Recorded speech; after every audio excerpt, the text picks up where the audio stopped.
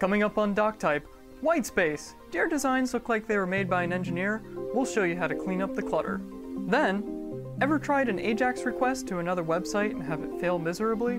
We'll explain why that is. So get ready for margins and padding aplenty because DocType starts now.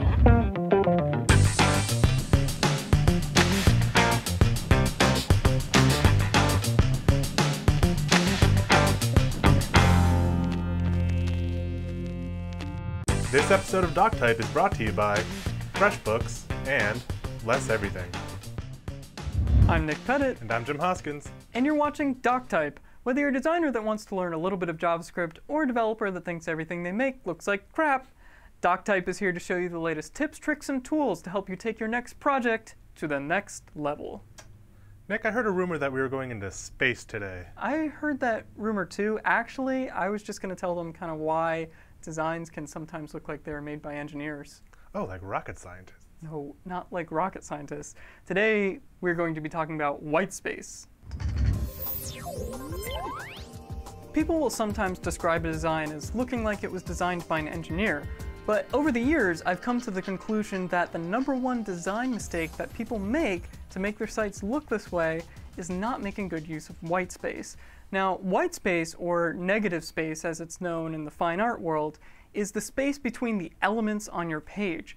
And if you have good white space on your page, you can make your site look more elegant, less cluttered, and a little bit more thoughtful. Macro white space is the space between the large elements on your page, such as navigation, big images, larger headers, and things like that. Now, for sites with less content, this can be a really important tool just because the macro white space takes up so much of the page. Now, let's get into some tips. When thinking about macro white space, start by breaking up your content into chunks and then arrange it on your page. You should almost never allow text to run right up against another element. At the macro level, treat paragraphs as large blocks of content. Before using color or lines to separate content, try using whitespace. Most of the time, it's all you really need. Micro whitespace is the space of the very small, like the space between individual letters or lines of text or list elements on your page. Now, for very content heavy websites, this is a very important thing to pay attention to because it can really decrease the visual friction or clutter on your page. Now, here are a few tips. Use lighter fonts with less decoration and serifs. This will help decrease the amount of texture and visual friction. Use CSS to set the line height of your paragraphs. I usually set my line height slightly above the default, which tends to lighten up the visual weight of paragraphs. Again, use CSS to set the letter spacing. A tiny adjustment in letter spacing applied to every paragraph on your website can dramatically improve readability.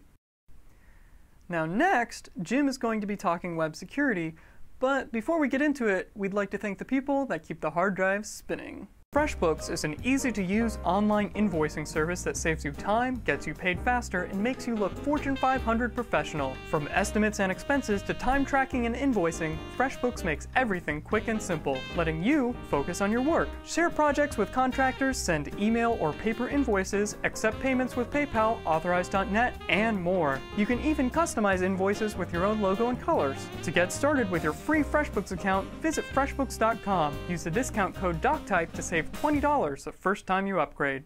Oftentimes, we get the question of why Ajax can't fetch URLs from a different server than the original page came from. Today, we're going to be looking at the reason why that is. If you're not familiar with Ajax, it's a technique for loading in data into a page after it's already been loaded, and it does this in the background.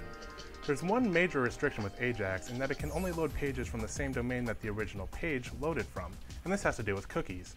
Modern login systems rely on cookies to remember who you are after you log in. So basically, that's the only credential you have. When you send a request to a page, it looks at the cookie to find out who you are. Now, if I was able to steal your cookie and use it as my own, the server would have no way of telling you from me, and I could do everything you could do. The security of cookies relies on two things. One is the unguessability of the cookie. If I can't guess what your cookie is or just forge it like that, then it's hard for me to pretend to be you. The other is browser security, and it does that through the same domain policy. When the browser requests a page from a, from a web server, it will only send the cookie for that particular domain. And it'll actually send that cookie anytime you make a request to that domain. not just for pages, but style sheets, images, JavaScript, or whatever. So let's look at this scenario. Now let's say I log into mybank.com and I do my banking and then I just leave and I don't log out properly. So I might go to a site like Professor Evil's site, which his only purpose is to steal my information and my money.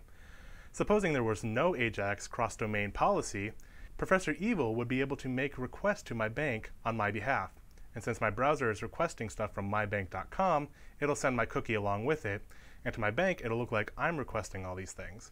So with all that, Professor Evil could take all my money, see all my information, or literally anything else I could do in my banking, and it would be disastrous. Fortunately, since he can't request to other domains other than himself, I'm safe from that. Now, that's not to say that you're completely safe from having your cookie stolen. There are other techniques that try these sort of methods to get your data, and they're called cross-site scripting and cross-site request forgery attacks. We'll be talking about those and how to protect yourself from those in future episodes. Do you want more out of life? Then what you really need is less. Less everything. Less everything are two cool guys that do great stuff like less projects, easily manage multiple projects, prioritize tasks, and assign tasks to people. Less accounting. The accounting app for small businesses to save you pain and suffering. Less time spent. Track your time and avoid billing mistakes. And of course, LessConf. Jim and I went to LessConf in 2009 and 2010 should be even better. To learn more, check them out at lesseverything.com. Well, that's it for this week's episode of DocType. Be sure to check out our Facebook fan page and follow at DocTypeTV on Twitter. Also, if you have a question you'd like answered on a future episode of DocType, send us an email at questions at doctype.tv. And as many of you requested, we now have an RSS feed and we're on iTunes, so be sure to subscribe. So until next Tuesday, remember that every great page starts with DocType.